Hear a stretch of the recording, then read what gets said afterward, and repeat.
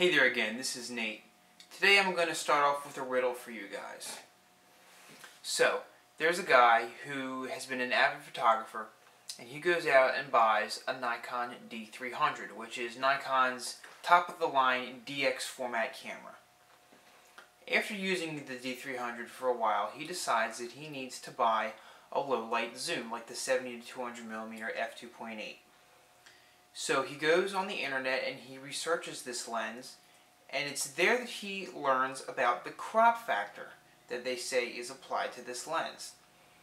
The guy is worried because he's afraid that the shots that he gets with the 70 to 200 millimeter lens will be different than the shots he gets from his 18 to 200 millimeter lens that comes with the D300 at the same focal lengths. What is this guy to do? Think about it for a second, come up with an answer. Okay, do you have your answer? Here's what he's supposed to do. He's supposed to not worry at all about the crop factor, and he's going to go and get that lens. In this video, I'm going to tell you why that is.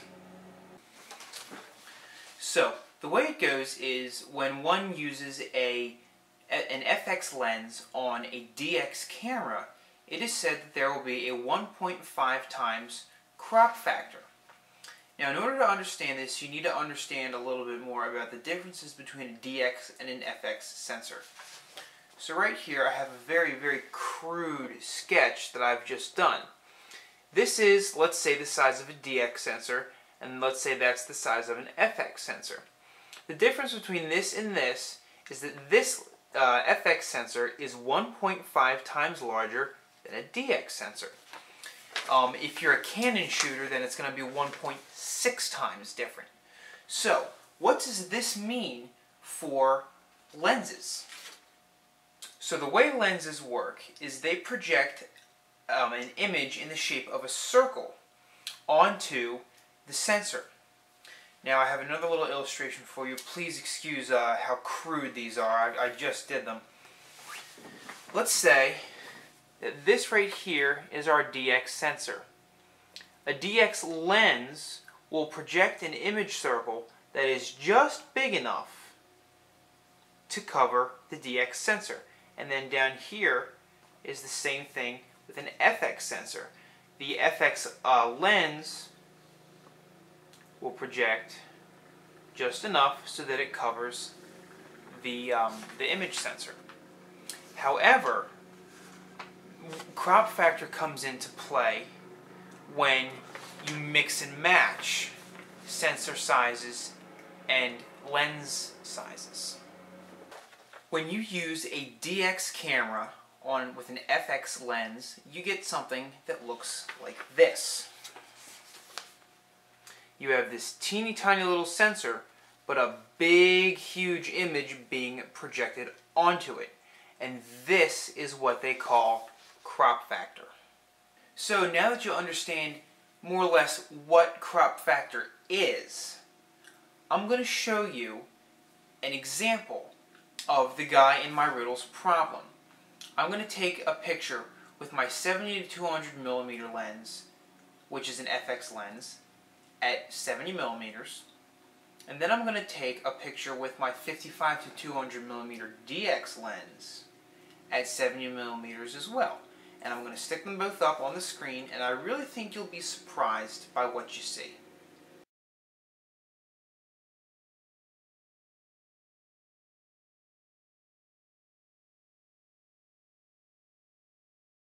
So, were you surprised by what you saw? I had a YouTube user comment on uh, one of my videos and he actually helped explain this to me because it was something that I didn't really understand very well.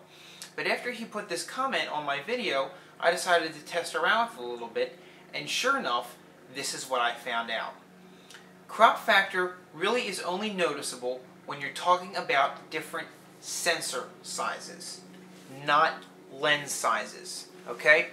So I'm going to draw you guys another little illustration so you can see a little bit better what I mean by that. Okay, so I have another uh, illustration to show you guys. This one right here is what would happen if you were using a DX camera and a DX lens. it would be a tiny little sensor and a tiny little image circle that only uh, picks up the guy and a little bit of grass there. If you were to use a DX sensor and an FX camera, or an FX lens, I'm sorry, you would get this. You would just get the guy in the grass, but the lens would be picking up this little stream right here and these trees. So you're not losing any more. The fact that this lens can project more is irrelevant at this point because the sensor is the same size and picks up the exact same amount of image. Now, this is where crop factor comes in, is the next one, the one right here. Okay, so now that we have an FX lens and an FX sensor, we get the guy, the little shrubs, the stream, and both trees all in the picture. And that is the way what they call crop factor works. Is that when you go from sensor to sensor, the same FX lens will show you 1.5 times less area because the sensor is 1.5 times smaller. So, bottom line, if you want to get an FX lens for your DX camera but are worried that because of the crop factor, it's going to um, somehow shrink your images or blow your images up or you don't even know what it's going to do, don't worry. Because your images will look exactly the same, except I guarantee you they're probably going to be better because if you get an FX lens, chances are it's going to have a better maximum aperture like these 2.8 lenses do. So that's really the only thing is your lenses are probably going to be more properly exposed. Um, as you can see in the two pictures that I showed you of the other one.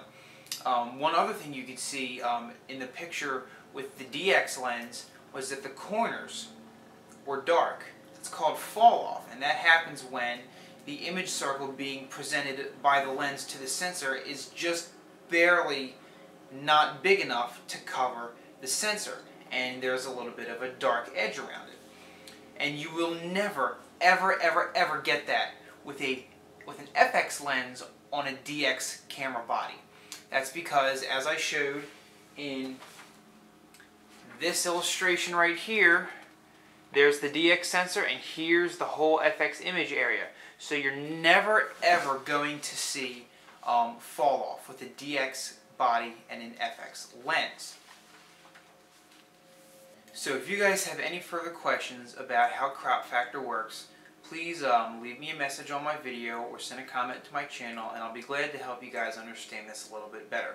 Because it is something that, from what I gather, very few people understand very well um, and it's something that seems to be on a lot of people's minds, especially mine. So if you have any further questions, please uh, get in touch with me.